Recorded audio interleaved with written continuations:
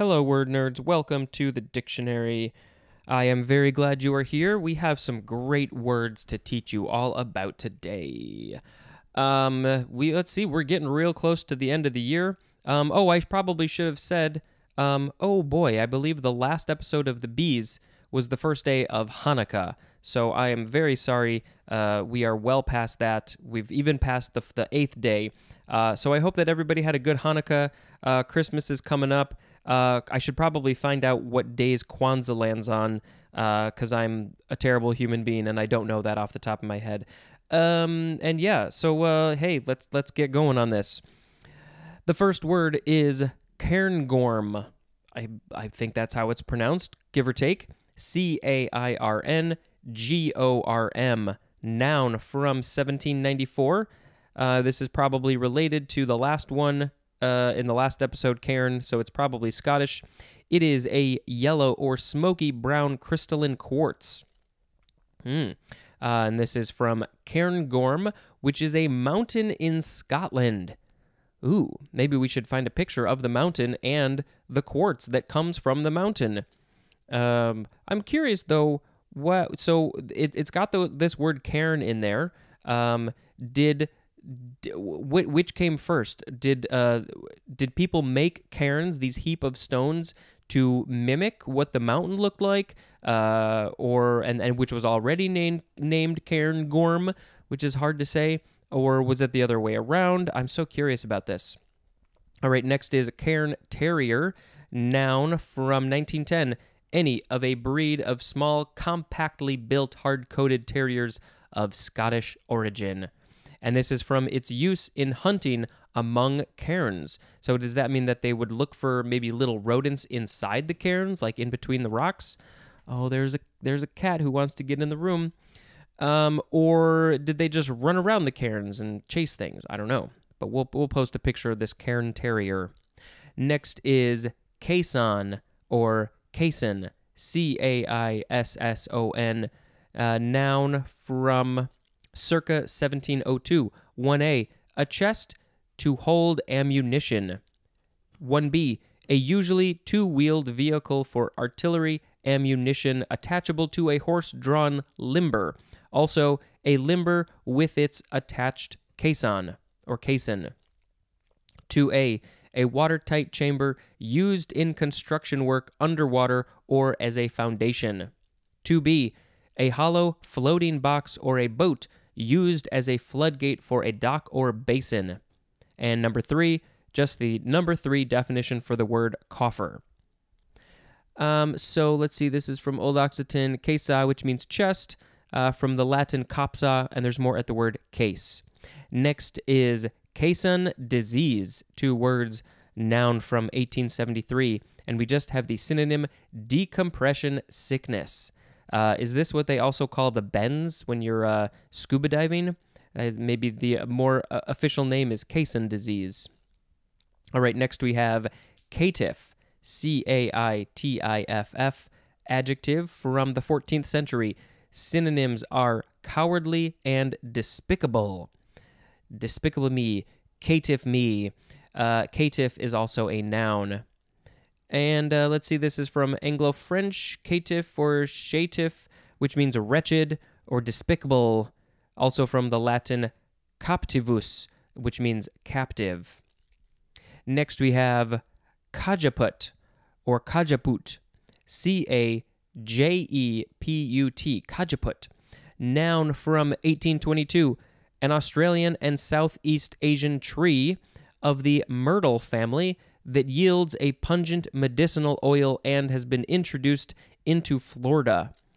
The scientific name is uh, Melaleuca quinquern whoa quinquenervia Melaleuca quinquenervia uh, and also uh, me, oh, I think it's Melaleuca Melaleuca uh, leucadendron.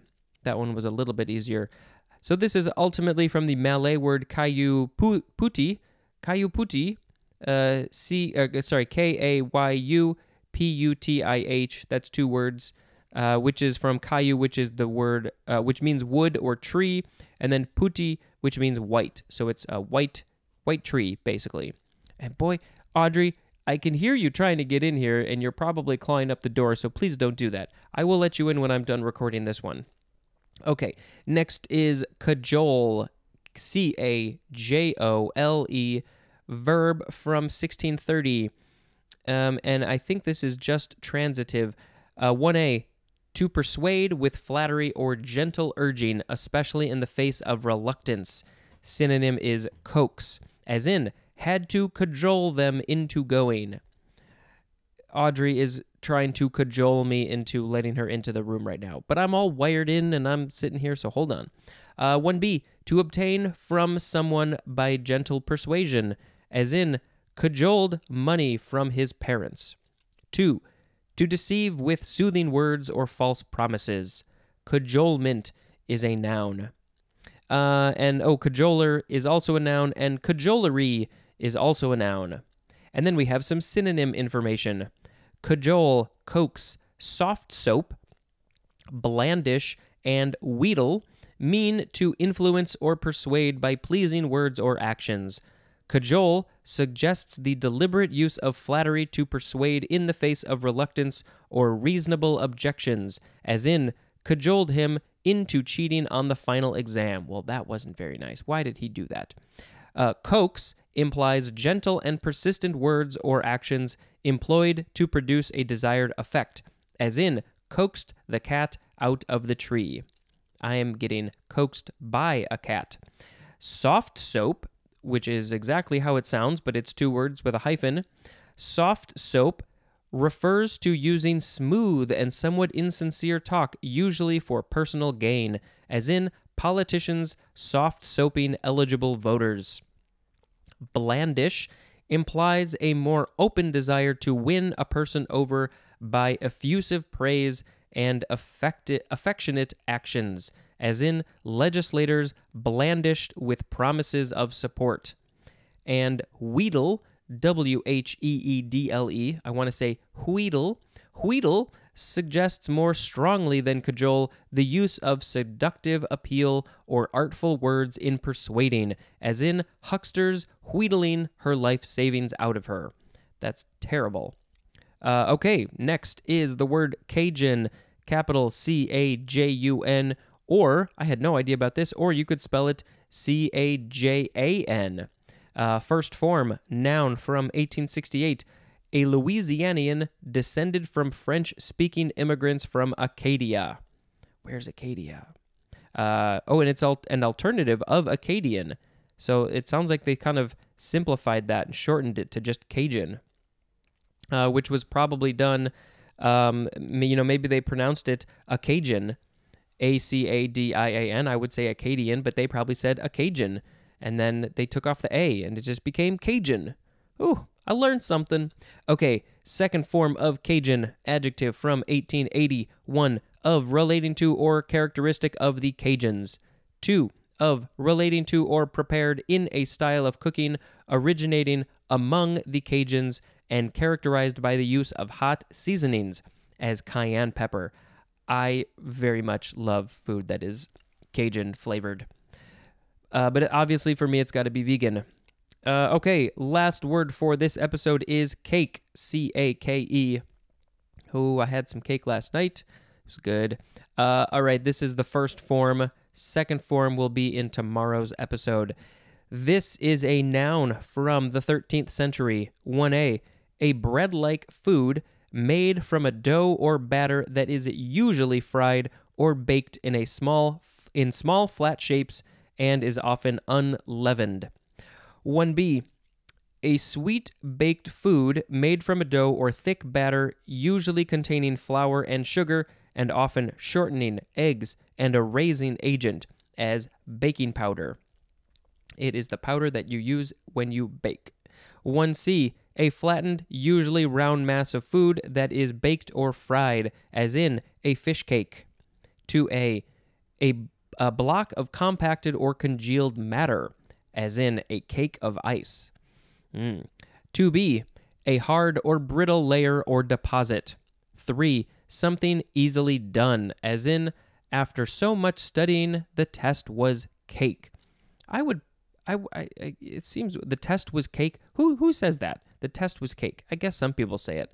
Uh, I would I would just say the test was a piece of cake, which I guess is equally strange. Actually, now that I think about it.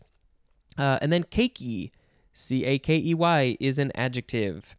So we had Cairn Gorm, Cairn Terrier, Caisson, uh, disease, Caitiff, uh, Cajeput. I'm sort of looking at the definitions to remind me of what these are. Uh, Cajeput, that is a tree. Cajole, Cajun, and cake. Well, I think I would like to pick Cajun as the word of the episode because I very much like Cajun food. Uh, that's all I got for you today. Thank you very much for listening. This has been Spencer dispensing information, and now I'm going to go let the cat in so she stops messing with the door. Goodbye. Hello, word nerds. Welcome to the dictionary. Uh, so, as promised, I let in the cat. This is Audrey. Um, and uh, yeah, she came in. She she was checking checking things out. Uh, we we try not to let them into the bedroom uh, as much as possible, but sometimes it happens. Um, and so now she is chilling on the pillow finally, uh, which is the pillow that I, I, I just put under my knees uh, as I'm sitting here on the bed recording. Uh, so yeah, I, I, took a picture. Uh, maybe I'll post that on Instagram if you are lucky, or if you, uh, oh, or maybe I'll just put it as a Patreon exclusive. If you, eh, no, that's mean. I'll put it on Instagram. Okay, the first word is cake. C A K E. Second form, verb from 1607. One synonym is encrust, as in caked with dust. Two, to fill a space with packed mass. Uh, that was transitive. Now we have intransitive, to form or harden into a mass. Next we have cakewalk. One word, noun from 1874. One, a black American entertainment having a cake as prize for the most accomplished steps and figures in walking. What? What is this? Uh, sorry, I feel very dumb that I don't know about this, but I think I might need to look more into it. A black American entertainment having a cake as prize for the most accomplished steps and figures in walking. Okay, well, let's finish this up and maybe we'll come back to that. Number two, a stage dance developed from walking steps and figures typically involving a high prance with backward tilt. Okay. Yeah, I feel very dumb that I'm not aware of this exactly. Uh, but you know, maybe maybe there's a video that we can find that shows this. 3A, a one sided contest. It was a cakewalk. That's like easy as cake. Uh, the 3B, an easy task. Cakewalk is an intransitive verb as well, and cakewalker is a noun. So the only real familiarity I have with this is uh, it's like a like a circus game kind of. Uh, you, you you pay some money and you pick a number and you go stand on that number and they have all the numbers on the floor on the ground and then uh, I think you maybe they play some music and then uh, how did something like that? I don't know. I probably have this wrong, but you walk around, um, and then oh maybe if you land on whatever number you win a cake, something like that. I, am sure if I thought about it more, I could come up with exactly how it works. Um, when I was a kid, my elementary school had a, whole like circus day thing, and uh, my parents were usually help helping out involved in that.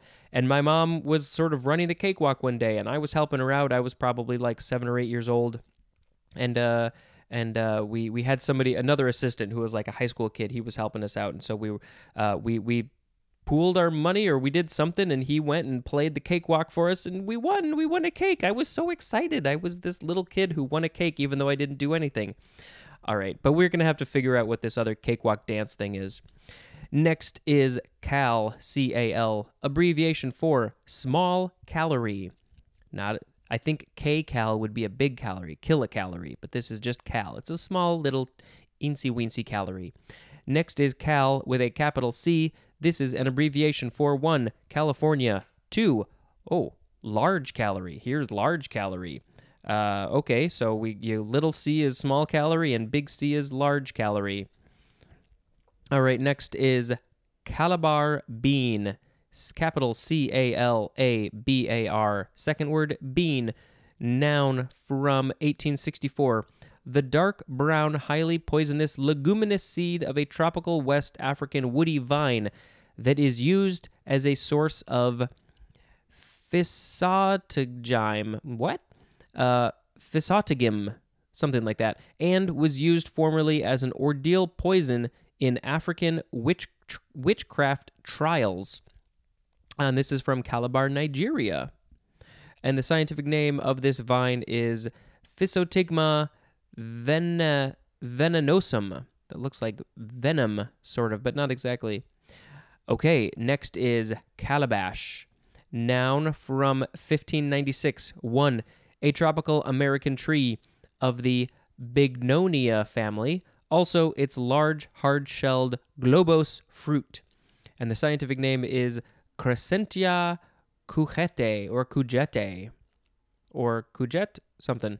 Number two, synonym is gourd, especially one whose hard shell is used for a utensil. What are you using a, a gourd for to scoop up your food? Maybe there's small ones that can be used as spoons. Three, a utensil as a bottle or uh, a dipper. I thought it said diaper for a second. A bottle or dipper made from the shell of a calabash. Uh, and this is the a French French and Spanish calabas, which is a gourd from Spanish calabaza, uh, which is our next word. Uh, but now Audrey wants to leave. Why do you want to leave? You spent so much energy trying to get in here, and now you want to leave? Just uh, just just curl up and, and sleep for a little bit. Okay, next is calabaza or calabaza.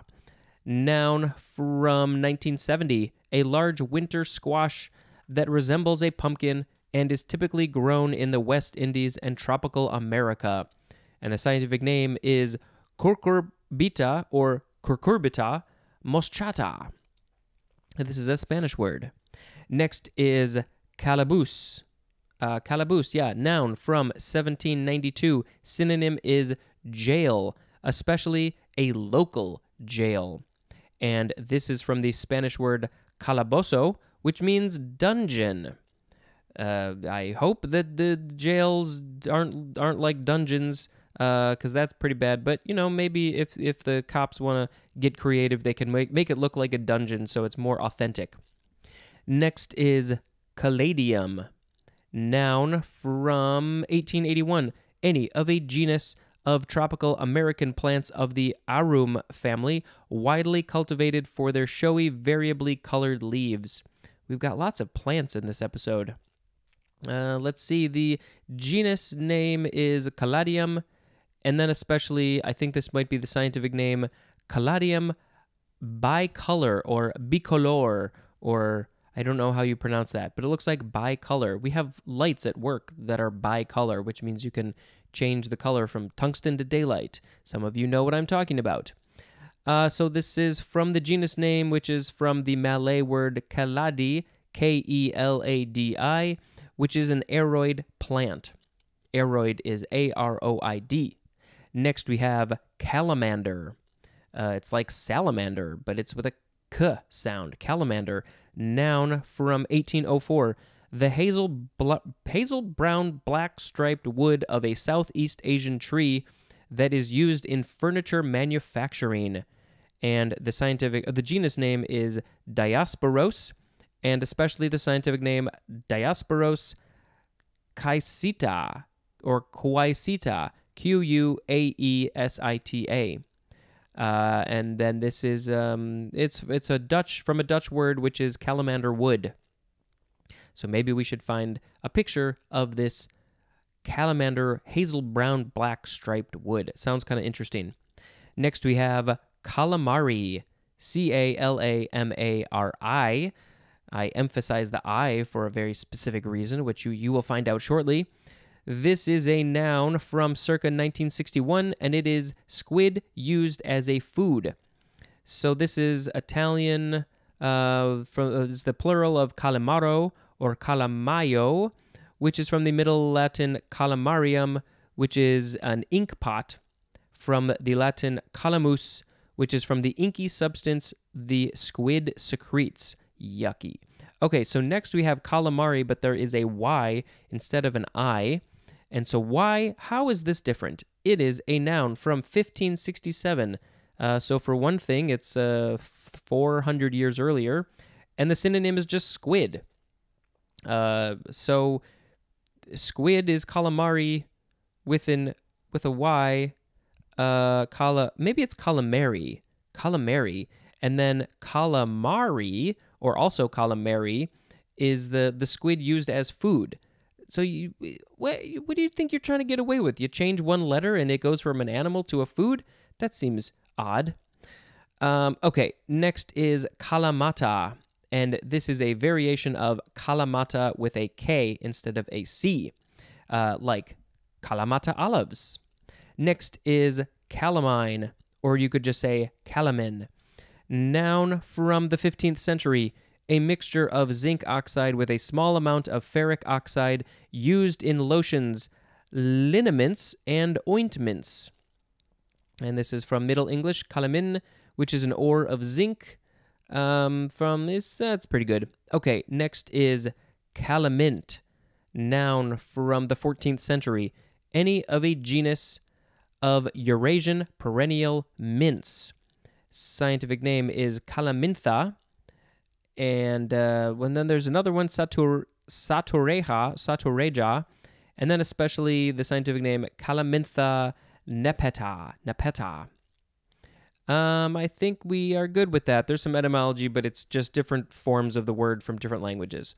And last for this episode is calamite. C A L A M I T E, noun from 1837.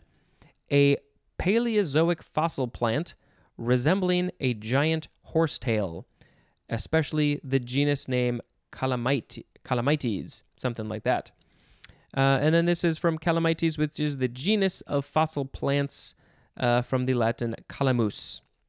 So there's a bunch of these words that have the C A L A prefix and I don't know if that means something specifically. Why are they related? Somehow, uh, maybe the, just the last couple are. Anyway, we had cake, cakewalk, cal, cal, calabar bean, calabash, calabaza, calaboose, caladium, calamander, calamari, calamari, calamata, calamine, calamint, and calamite. Hmm. I'm not sure if any of these are really jumping out at me. I'm not thinking, I don't know a whole lot about this cakewalk thing. I don't want to be offensive in any way. Uh, lots of plants.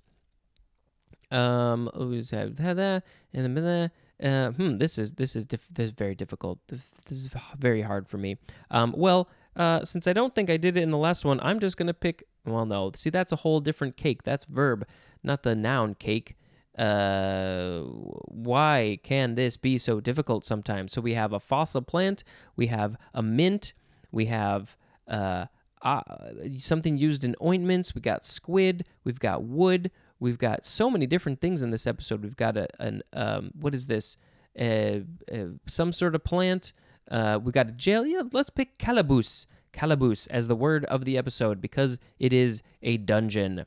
Thank you very much for listening. And until next time, this is Spencer dispensing information, and sometimes he doesn't talk so good. Thank you and goodbye. Hello, word nerds. Welcome to the dictionary. Uh, so Audrey the cat has she she stopped trying to get out of the room, uh, and then she just went and chilled on the radiator, which is should be very nice and warm. Uh, okay, so let's talk about these words. We are at the end of page 173. I just drank a little tea, so there might be a burp coming. We'll we'll find out. Let's see what the future brings. So the first word is calamitous. C A L A M I T O U S. Adjective from the uh, the 1545.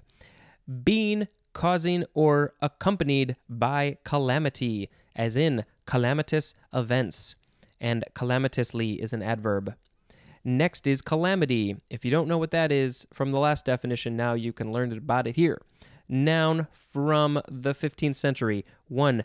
A state of deep distress or misery caused by major misfortune or loss. 2. A disastrous event marked by great loss and lasting distress and suffering, as in calamities of nature, also as in an economic calamity. I think we are living through an economic calamity at the moment. And um, I was listening to some podcast where they were talking about it, the you know sort of the economic problems that are going to come from this, and unless some major things are done, like major changes in policies and politics and stimulus checks and things like that, uh, this is going to have very, very, very long lasting effects. Uh, what we are going through right now, how many people are out of work, uh, you know, it this unless some major changes happen happen, this is just going to make the divide between the rich and the poor even bigger, uh, which we really don't need. That's that's not helping anything. Um, yeah. So let's hey let's get this fixed, people. Uh, okay, back the word back to the words. This is from the Latin word uh, clades, clades, which means destruction. Next is calamondin, C A L A M O N D I N, calamondin. Noun from circa 1928, a small hybrid citrus tree. Also, its small tart fruit resembling the mandarin and used especially in marmalades. Calamondin. The scientific name, there's a couple. It is Citrofortunella mitis and Citrus mitis. Citrus mitis. Uh, and then this is from a tag word. Is that, I think it's Tagalog. That's the name of the, the language. Uh, ta- Tagalog. Tagalog. Uh, I remember seeing that before. I can't remember where it is from, but Tagalog word kalamunding. K A L A M U N D I N G uh, which is I wonder where I should find out where that's from. Okay, next is calamus, noun from the 14th century. One A synonym is sweet flag. Okay, I don't know who's eating flags to find out if they're sweet or salty, but that's a sweet flag. One B the aromatic peeled and dried rhizome of the sweet flag that is the source of carcinogenic essential oil. And number two, the hollow basal portion of a feather below the vein. Synonym is quill. I still don't know what a sweet flag is, but let's look at the etymology. It is a Latin word which means reed or reed pen, from Greek kalamos, and there's more at the word haulm, H A U L M, haulm. Next is calash, noun from 1679, 1A a light, small wheeled four passenger carriage with a folding top. 1B. Uh, we have the 1B definition for the word, well, I, am assuming it's pronounced similarly, calèche, calash. It is spelled C A L E C H E, and there's an accent over the first E. Calèche. Uh, so yeah, it looks like they just changed the spelling. And number two, a large wo- no, a large hood worn by women in the 18th century a calash. This is from French, calèche, from Greek, kalesh, from Czech, kolesa, which means wheels or carriage, akin to the Greek kiklos, which means wheel, and there's more at the word wheel. Next is calc, C A L C, abbreviation for calculate or calculated. And then I want to throw in my own calculon. Next is the prefix calc or calci or calci, C A L C I. Uh, this is, it just means uh, calcium, calcium or calcium salt, as in calcic or calcify. And uh, this is from the Latin prefix calc or calx, C A L X, which means lime, and there's more at the word chalk. Next is calcaneal, C A L C A N E A L, adjective from circa 1849, relating to the heel or calcaneus. Well, before we get to calcaneus, we have to read calcaneum. Uh, this is a, um, where'd it go? A noun from circa 1751, and we just have the synonym calcaneus. Everything is just leading us to calcaneus. Uh, but this one is also from, uh, it's a Latin word which means heel, and there's more at the word chalk.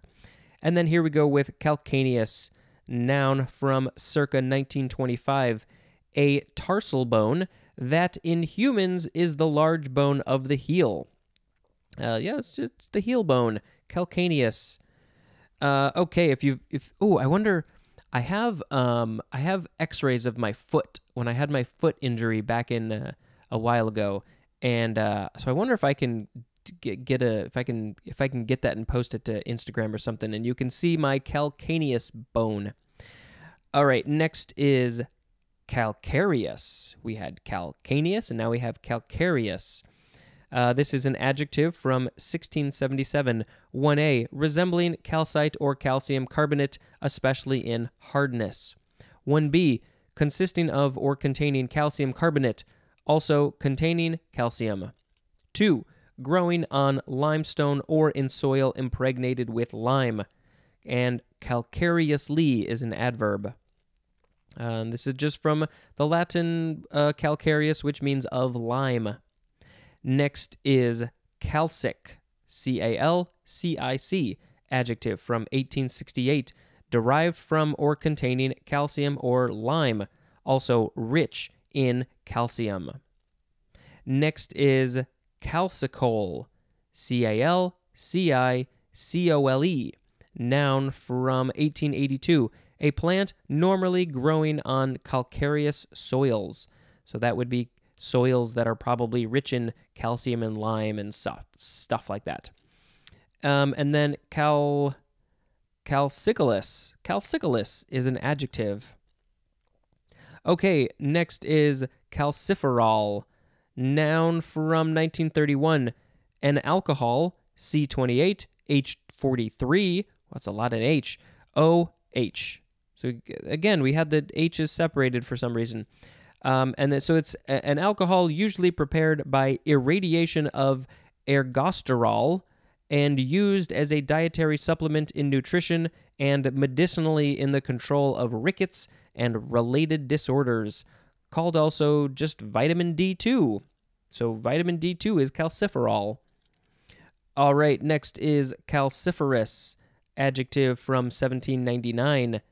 And uh, yeah, this is producing or containing calcium carbonate.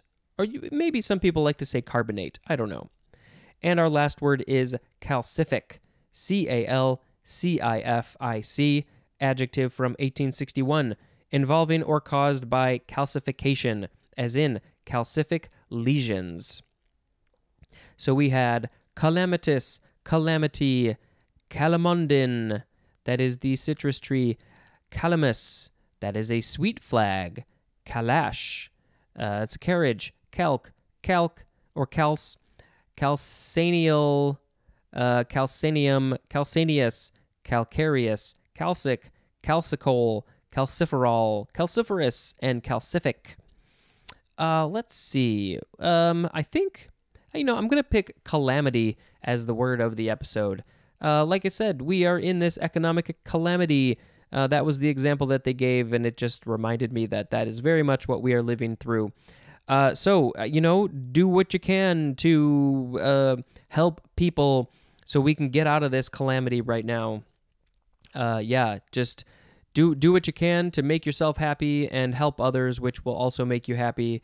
Uh, I know I say these things a lot, but I'm gonna say them a lot because it's very true, um, and it needs to happen. So yeah, that's that's all I got. See if you can uh, if there is somebody out there who is like, why would I want to help somebody?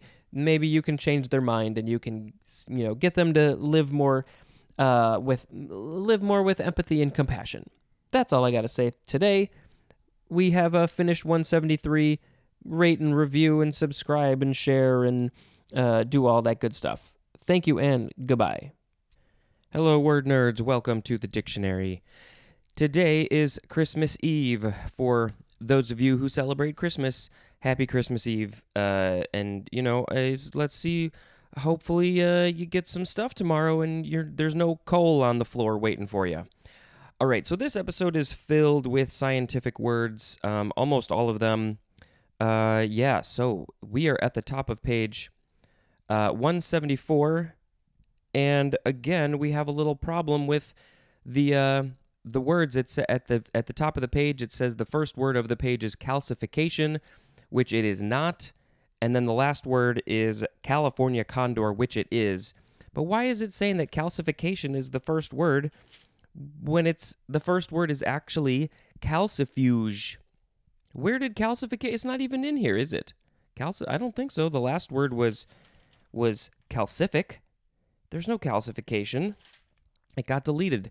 All right, so calcifuge, uh, C A L C I F U G E, is a noun from 1926, a plant not normally growing on calcareous soils. And I think we read that in the last episode. If you want to learn what calcareous is, calcifuge, also calcifugous, calcifugous, those are adjectives.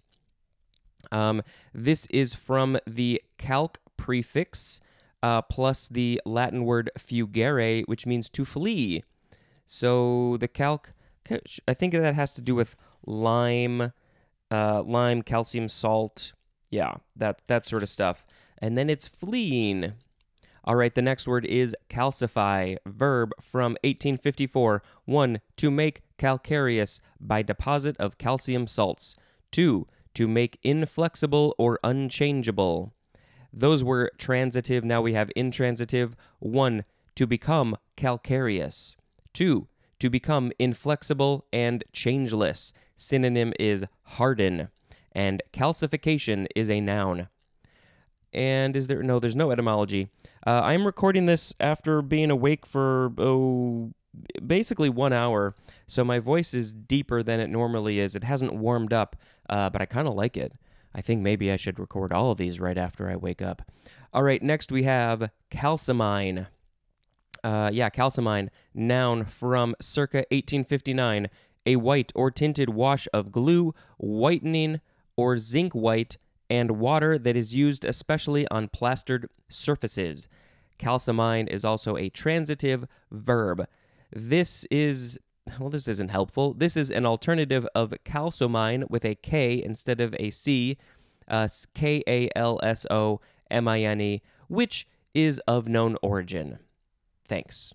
Now we have calcination.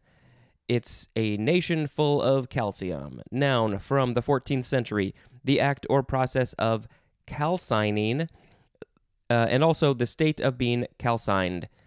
Uh, if you are curious about the word calcine, let's read that now. It is the word calcine.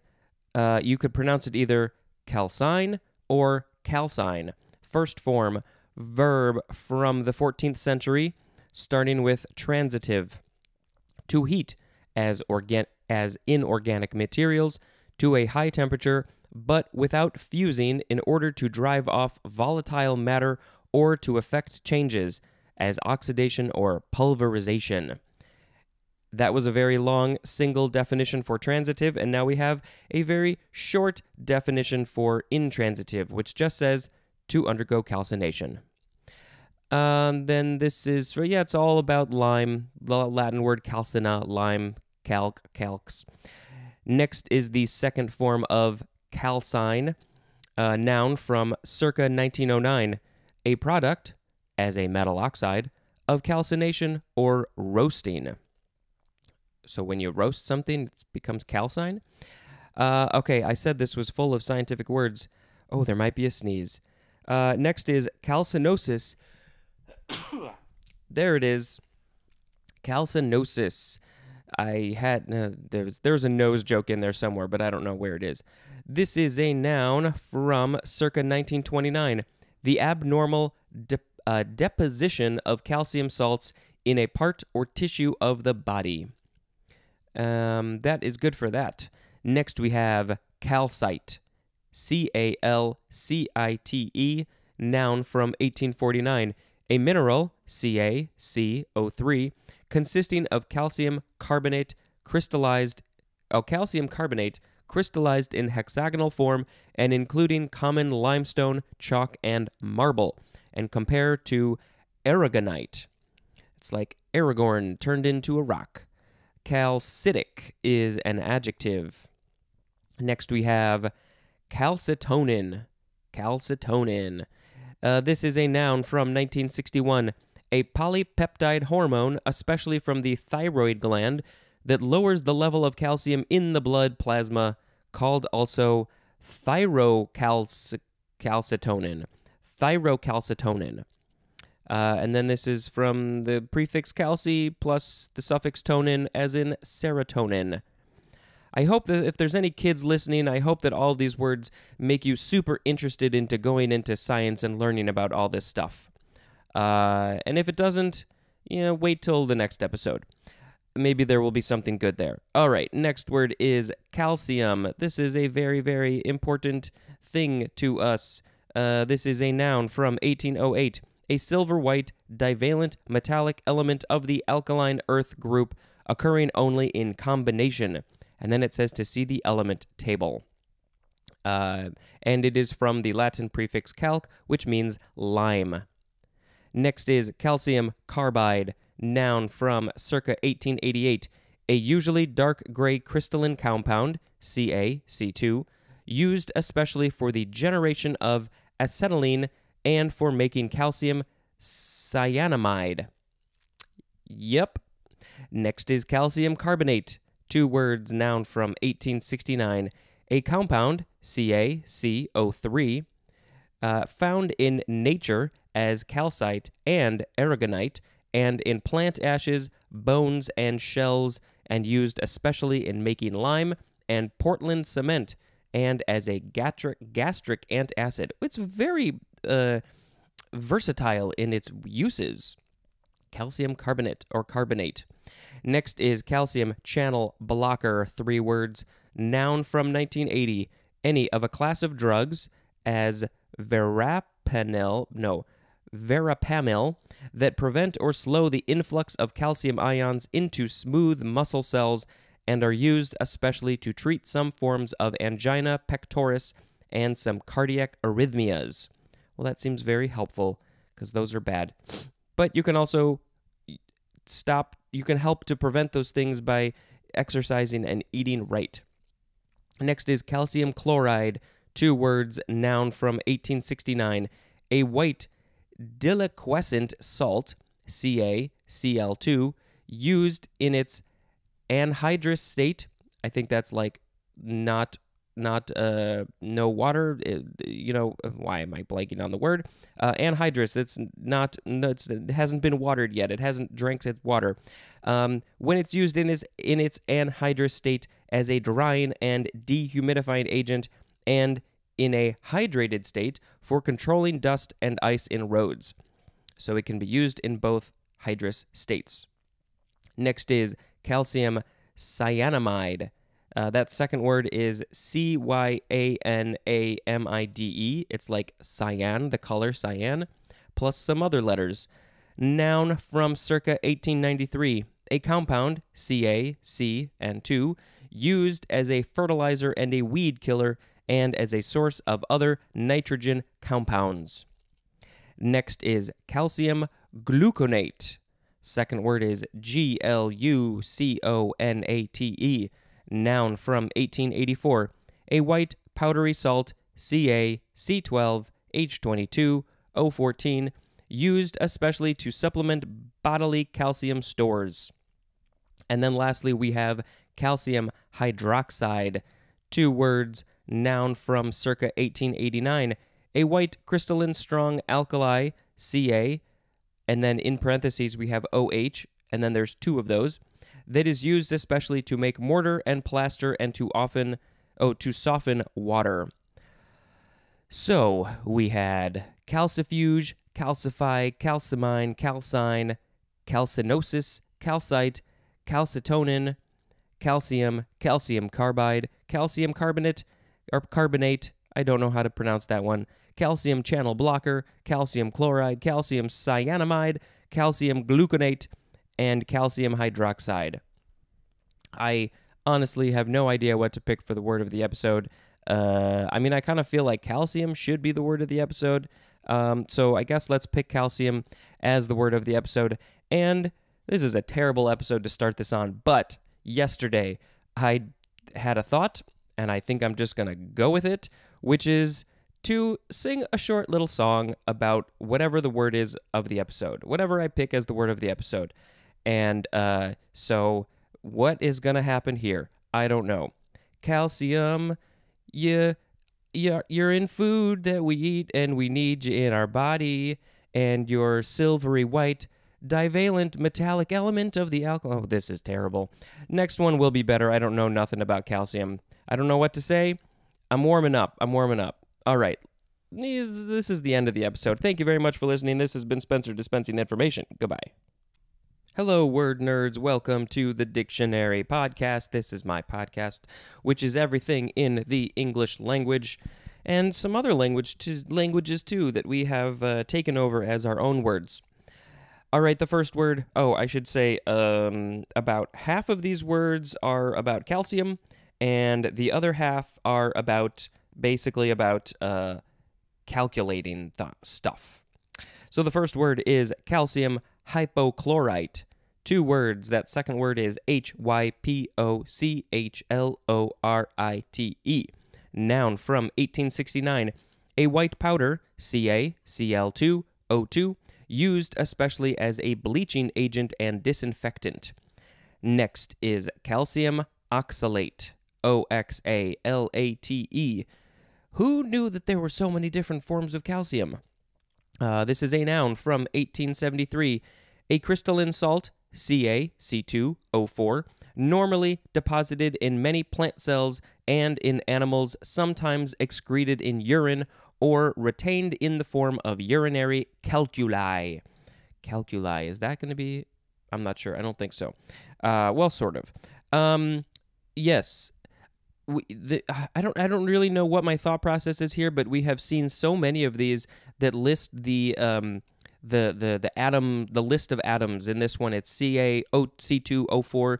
If you had the ability, you could literally just grab one calcium atom and two carbon atoms and four oxygen atoms and put them together, but you know we it's that's that's pretty hard for most of us to do maybe there are some scientists who can do stuff like that i mean they create it in some way uh, but it's i mean that's that's all it is. It's that um, that's just one molecule of this stuff but you need a lot more than that. Um, but it's just it's just uh, i just think it's funny that it's just written out there right like that that you can just it's just these things. It's these five five atoms. I don't know what I'm talking about. Next is calcium oxide, noun from 1869. A caustic solid, CaO, that's just two atoms, one Ca and one O, that is white when pure, and that is the chief constituent of lime. Is it the lime food, the fruit, or is it the lime that's like the rock, the the um the molecule, the nah, that's not it. The uh the substance. Or is it similar? Or different? I don't know. I don't know. Next is calcium phosphate, noun from 1869. Any of various phosphates of calcium as A. The phosphate CaH4, P2O8, used as a fertilizer and in baking powder. Also as in B. The phosphate CaHPO4, used in pharmaceutical preparations and animal feeds. Uh, okay, and then C, there's also a D, but C, the phosphate Ca3P2O8, used as a fertilizer. And D, the naturally occurring phosphate Ca5. Oh boy, this is getting complicated. Um, in parentheses, we have FClOH, a half of a carbon, and O3. And then in another set of parentheses, we have PO4, and then there's three of that. There's three this of this PO4. Wow, that's crazy. Uh, and how is there a half of a carbon? I don't understand that one. Or a half of a, a CO3. It broke it in half, but there's three of O's. I don't know. Okay, let's start this over. The naturally occurring phosphate, blah, blah, blah, blah, blah, that contains other elements or radicals and is the chief constituent of phosphate rock, bones, and teeth. Well, that seems pretty important. Uh, all right, next we have calcium silicate or silicate. It's probably silicate. Noun from 1869. Any of several silicates of calcium used especially in construction materials as Portland cement. How is that different from other cements? Which Portland is that? Is it does it come from the Portland on the west coast or the Portland on the east coast? Is there Miami cement? Next is calcium sulfate, noun from 1869, a white salt, CaSO4, that occurs especially as anhydrite, gypsum, and plaster of Paris, and that is hydrated and and that in hydrated form is used as a building material and in anhydrous form is used as a drying agent. Scientists are smart. How do they figure this stuff out? How do they how do they understand any of this? I sure don't. Uh, we need more scientists in the world and more people to believe that it is real. All right, we are done with the calcium words. I don't think they're going to come back. Next is calculable, adjective from circa 1734. 1. Subject to or ascertainable by calculation. 2. That may be counted on. Synonym is dependable. Calculable. Okay, I guess you could say that. Uh, this the, the number one is what we see more commonly. Uh, it is able to be done by calculation, so it is calcul- calculable. Next, we have calculate, verb from 1570. Uh, there's a bunch of stuff here. We are starting with transitive 1a to determine by mathematical processes, as in calculate the rate of acceleration. 1b to reckon by exercise of practical judgment. Synonym is estimate, as in calculate the likelihood of success. 1c. To solve or probe the meaning of. Synonym is figure out. It's kind of an odd synonym, but you know, it's those are words that you you say, you put to put them together. As in trying to calculate his expression. That is a quote from Hugh MacLennan. M A C L E N N A N. Hugh MacLennan, said, trying to calculate his expression. Uh, okay, number two, to design or adapt for a purpose, as in, he carefully calculated the timing of his arrival for maximum impact. What a weird uh, definition example here he carefully calculated this timing of his i mean i i don't know. That seems super strange to me. You could you could make something less complicated or something. Uh, okay 3a to judge to be true or probable. To be synonym is intend as in i calculate to do it or uh, or perish in the attempt. I calculate to do it or perish in the attempt.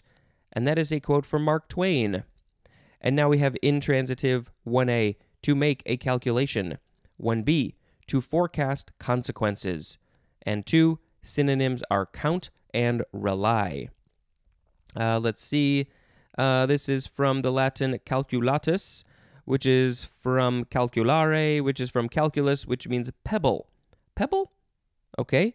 Uh, it says used in reckoning. Don't know what that means. Um, and then it's uh, related to lime and chalk. Next is calculated. I don't know why it's related to lime and chalk though. Oh, because maybe it's pebbles made out of lime? But then how did that become like counting and calculating? You had to count the pebbles maybe? I don't know.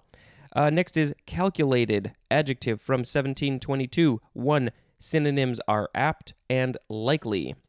2a. Worked out by mathematical calculation. 2b. Engaged in undertaken or displayed after reckoning or estimating the statistical probability of success or failure, as in a calculated risk. 3a. Planned or contrived to accomplish a purpose.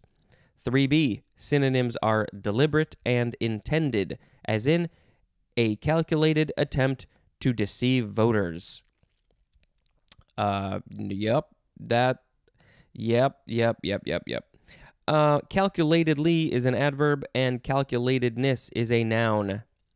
Uh, next is calculating with an ing, adjective from 1710. 1. Making calculations. As in, calculating machine. Calculating machine. That's it. It makes calculations. Uh, number 2. Marked by prudent analysis or by shrewd consideration of self interest. And a synonym is scheming. Calculatingly is an adverb. Next is calculation, noun from the 14th century. 1a, the process or an act of calculating. 1b, the result of an act of calculating. 2a, studied care in analyzing or planning. 2b, cold, heartless planning to promote self interest. And calculational is an adjective. Next, we have calculator.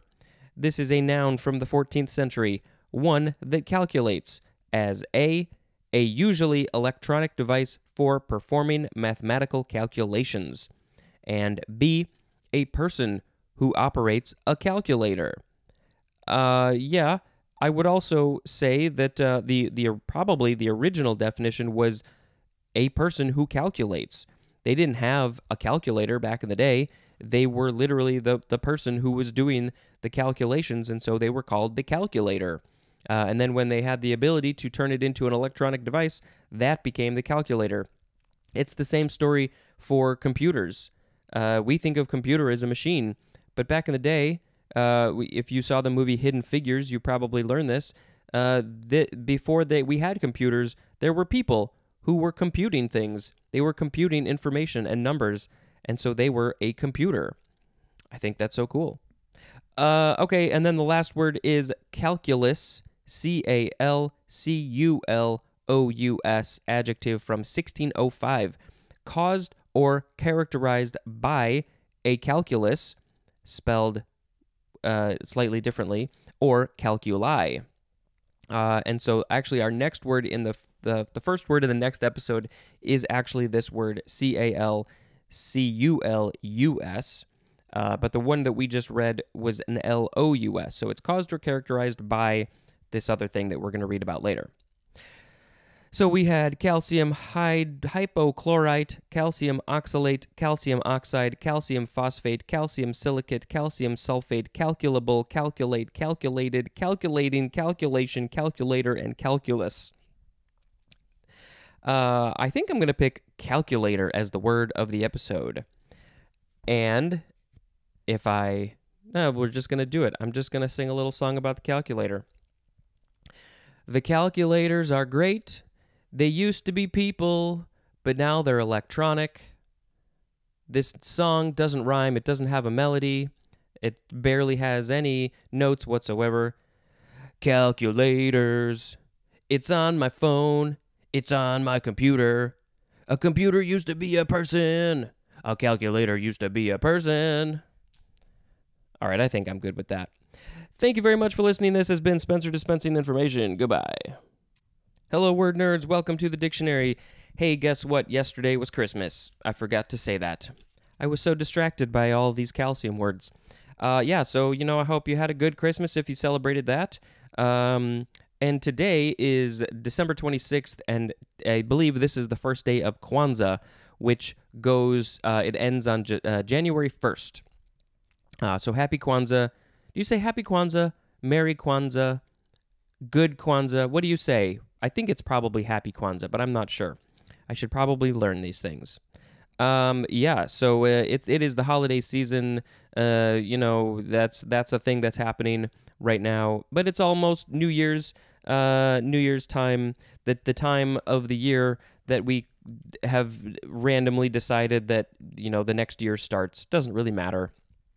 Um, so uh, you know, uh, speaking of that, uh, we're we're gonna get to some some something related to that later this episode. Also, I never said my songs are gonna be good. Well, you know, as I do this, you know, it's a muscle. Maybe I'll get a little bit better, but but so far we're 0 for 2, I think. Okay, the first word for this episode is calculus. C A L C U L U S. And this is a noun from 1666. 1a, a method of computation or calculation in a special notation, as of logic or symbol logic. Uh, 1b, the mathematical methods comprising differential and integral calculus, and this is often used with the word the, the calculus. Number two, synonym is calculation. 3a, a concretion a concretion usually of mineral salts around organic material found especially in hollow organs or ducts. D U C T S. 3b. We have the number 2 definition for the first form of tartar. T A R T A R. Tartar. And number 4, a system of arrangement or arrangement of intricate or interrelated parts. let's see. This is from the Latin word, or it is a Latin word that means stone, and it is used in reckoning. I again, this is the second time I've seen that. I don't know what that means. I never took calculus in school. Uh, let's see. I guess I technically could have taken it my senior year of high school, uh, but it sounded scary, and I didn't. I didn't want to do that. I, I was. I didn't think I was smart enough to do that. Um, I, I don't know. It seems like it could be sort of interesting, but I've heard a lot of horror stories that people are like, uh, calculus sucks. But I don't know. You won't know until you actually try it. So maybe I should try calculus. Maybe I'll learn that in my free time. Next, we have Calculus of Variations from 1837. It doesn't say what it is, it's just from 1837. A branch of mathematics concerned with applying the methods of calculus to finding the maxima and minima of a function which depends for its values on another function or a curve. Yep, all you math and science people probably know what that is. Next is caldera could also be pronounced caldera or caldera, C A L D E R A, noun from 1691, a volcanic crater that has a diameter many times that of the vent and is formed by collapse of the central part of a volcano or by explosions of extraordinary violence. Uh, this is a Spanish word, literally means cauldron, uh, which in this case is spelled C A L D R O N, which is actually our next word. Um, but and then and then there's more at the word cauldron, C A U L D R O N. Um, yes, it's a it's a big crater. Usually, uh, you know, th- I think this is what we typically think of that is at the top of volcanoes, uh, but that is not necessarily always true. Uh, they don't always have this caldera. Uh, yeah. Uh, okay, so next we have that word cauldron, C A L D R O N. It's just a variation of a cauldron with the U, which it w- it'll be a little while before we see that. Next is calèche or calash, C A L E C H E. You can have an accent over that first E or not. It's up to you how you want to spell it. This is a noun from 1666, 1A we have the 1A definition for the word calash with a C A L, which uh, I'm sure we read. We must have read that one probably not that long ago. Uh, here we go. It is um oh, it's a it's a carriage. It's a carriage. That's what that one is. Okay, next is uh now that was 1A. Now we have 1B, a two-wheeled horse-drawn vehicle with a driver's seat on the splashboard used in Quebec. That is, I, I would normally say Quebec, but I think it's officially pronounced Quebec. And then number two, the number two definition for the word calash with a C A L A S C H S H. Wow. Okay. Uh, why did this? Uh, why is it a new spelling? I don't know. It's the French form of it. Next we have calefactory. C A L E, and then the word factory, but it's all one word. Noun from circa 1681. A monastery room warmed and used as a sitting room. The calefactory. Um, so this is from the Latin word calefacere, which means to warm. And then there's more at the word chafe, C H A F E.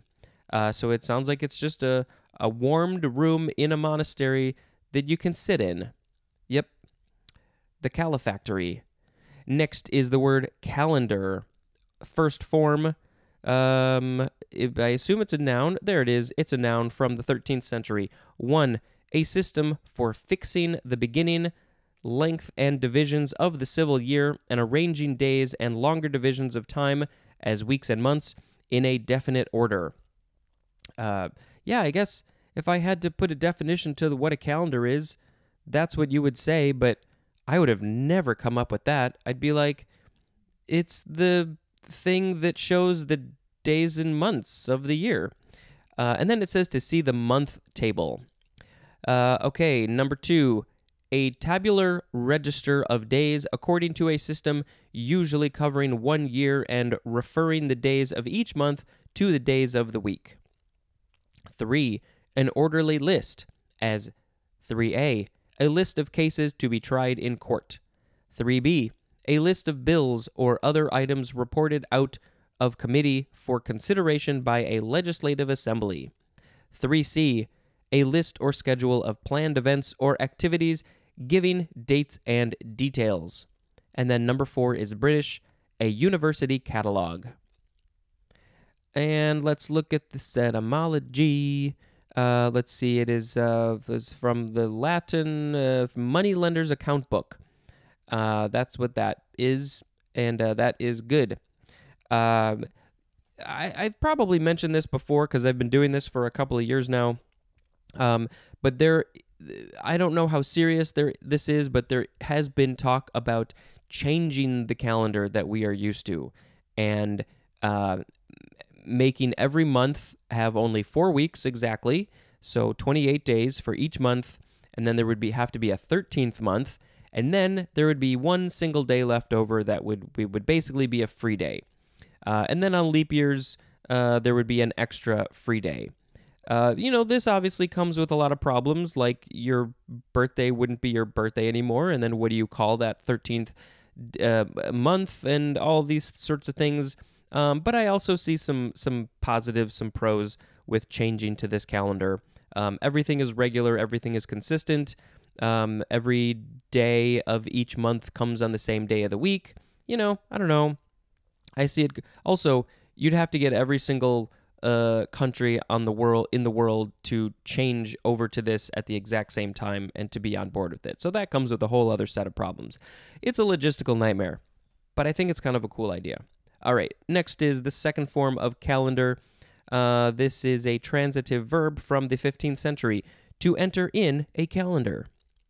Next is calendar year, two words, noun from circa 1909 1. A period of a year beginning and ending with the dates that are conventionally accepted as marking the beginning and end of a numbered year. Yeah, like I said, this is uh, appropriate. We're at the pretty much at the end of the year. We only have a few days left to go. Uh, so, yeah, that's just a coincidence. Uh, number two, a period of time equal in length to that of the year in the calendar, conventionally in use. Next is Okay, so it's calender again, but it is spelled uh, with an ER at the end. The other one was an AR. So this is the first form of calender, I'll say, calender, uh, even though they are pronounced the same way. This is a verb, looks like it's just transitive from 1513 to press as cloth, rubber, or paper between rollers or plates in order to smooth and glaze or to thin into sheets. I have not heard of this. So, uh, so I, I imagine um, the old school uh, washing machines that you would use, uh, and then it had those two, uh, two. I guess they were well cylinders. I see this word cylinder here, which we'll get to in a second. But I saw those, and then you can, you know, you put the clothes through there, and you squeeze them, and it dries them out. Uh, so I'm I'm guessing that that is the act of calendering. Uh, this is from Middle French, calendrier, calendrier, from calendrier, which is a machine for calendering, uh, which is from uh, the vulgar Latin colendra, which means cylinder, uh, modified from the Greek kylindros, and there's more at the word cylinder. So that must be what that is. They probably, but they use it for other things, like um, I think pasta makers. Uh, they those also have a similar uh, structure to them. Those cylinders, and you can flatten things out. Uh, yeah, I think that's what that is. Calender. Second form of calender is a noun from 1688, a machine for calendaring something. Third form of calender, noun from 1621, a member of a sulfic, yeah, uh, no, Sufic, Sufic order of wandering mendicant dervishes. Lots of word a lot of us probably don't know. Uh, but this is from a Persian word, qalandar, Q A L A N D A R. Next is calendrical, also just calendric. Adjective from circa 1843 of relating to, characteristic of, or used in a calendar, uh, calen- calendar, D A R, uh, you know, the thing with dates. And then our last word is calends or calends, C A L E N D S. You could also spell it with a K. Uh, this is a noun from the 14th century, the first day of the ancient Roman month, from which days were counted backward to the Ides. The Ides is the 15th of the month, uh, back in you know old Roman Latin days. Uh, so this is interesting because well, let's look at the etymology first. Um, well, it does not. That's not helpful. Um, but wh- wh- what I'm guessing is um, it seems like maybe we get the word calendar from this word, possibly, maybe. Um, but you know, when we look at the word calendar, it doesn't say that it is from this. It says it's from other forms of this word calendar: Middle English, Middle uh, Middle Latin, Anglo French, uh, Middle Latin, blah blah blah. Uh, but I don't know. There's probably some connection here with this word calens. Uh, so we had calculus, calculus of variations, caldera, cauldron, caleche, calefactory. Uh, that's the warming room, calendar, calendar year, calender, calendrical, and calends. I will pick caldera as the word of the episode. Uh, oh man, I think if I get if I get good at this whole song thing, uh, it would be cool to get one of those looping machines. Uh, you know, the people, the first people that come to mind are um, Flula Borg. If you don't know who Flula Borg is, you should go look him up. Um, also, Reggie Watts. Uh, you probably know who he is. Um, also, there's this guy. I think his name is Mark. Mark, uh, sort of like a French last name, Rebier, something. Oh, I'm blanking on his last name. Um, but they all are super talented. There's tons of people who do this, but those are the first three that I can think of. And they have these, they have keyboards and they have these machines, and you can uh, and the microphones, and you can make a sound. You can play it on the keyboard, and you, it'll loop, and then you can add layers to your song. Uh, so maybe someday I will get that complicated with this. But in the meantime, we don't have that. So we're going to sing a song about a caldera. The caldera. All my songs start the same way. Let's do something different.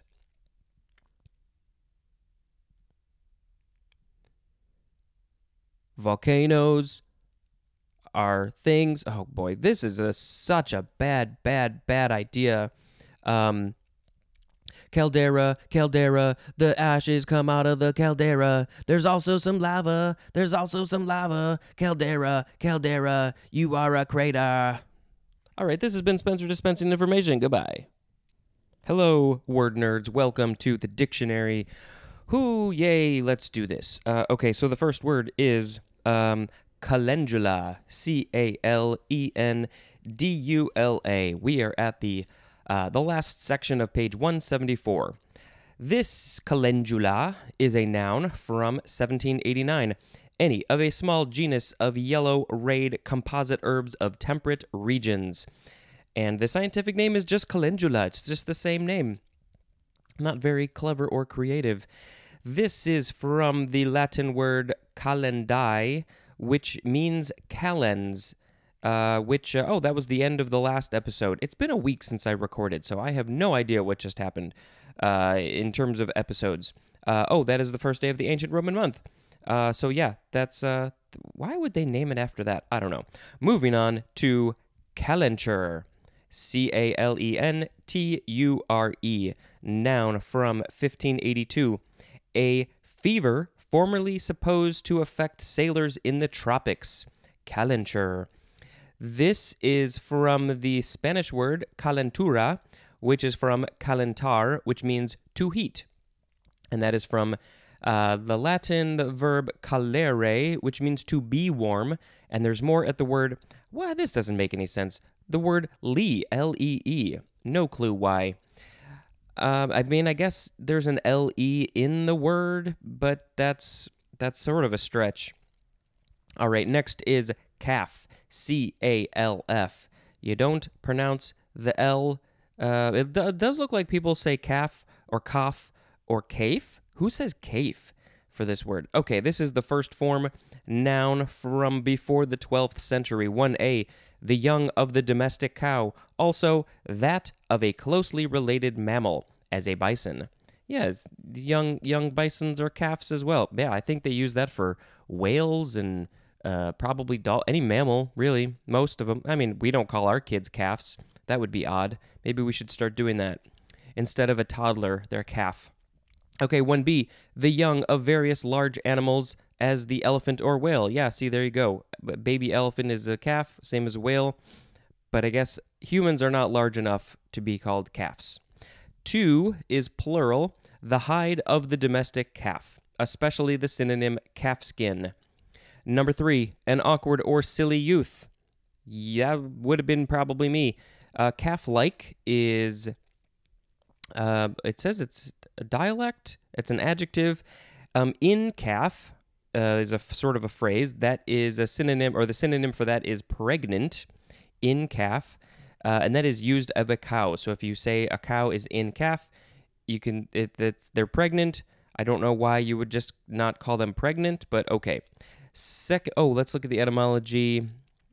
Anything interesting here? Not particularly. Number two is a, second form of calf. This is a noun from the 14th century. The fleshy back part of the leg below the knee.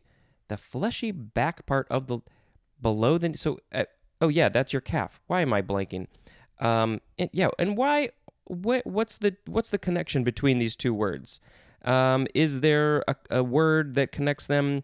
There's not. The only oh, etymology for this second form is from Old Norse, Kalfi, K A L F I. Um, but is that in this other one? No, it's not. So maybe it's just a coincidence that they're the same word. Next is calf love. There's uh, two words with a hyphen, noun from 1823, and the synonym is just puppy love. I don't know why it's calf love because those are cows or other things like that. Uh, next is calf's foot jelly. Um, I made sure not to read the definition when I re- read the words beforehand before I recorded, uh, but I am super curious about this one. It is calf's. It uh, has an apostrophe s hyphen foot, so calf's foot, and then the next word is jelly. It doesn't sound good. Noun from 1775. Jelly, oh yeah, jelly made from gelatin obtained by boiling calf's feet. Yeah, if you didn't know, gelatin is from hooves and bones of animals and stuff. So anything that has gelatin, uh, you're you're eating animals. Most of you are probably fine with that, but vegetarians, you you can't even have those like jelly beans and marshmallows. Yeah, gelatin is in marshmallows. On that note, let's move on to calfskin. Uh, this is a noun from the 15th century leather made of the skin of a calf. Why? Next is Caliban, capital C A L I B A N, noun from circa 1612, a savage and deformed slave in Shakespeare's The Tempest. I think it's interesting that characters in plays or stories have um, I guess they've become uh, popular enough that they've gotten into our English language. That I mean, I not that I hear this word Caliban, um, but I guess it's it's common enough that it's in the dictionary, and it's just a character in a story. Next is caliber, spelled C A C A L I B E R or B R E.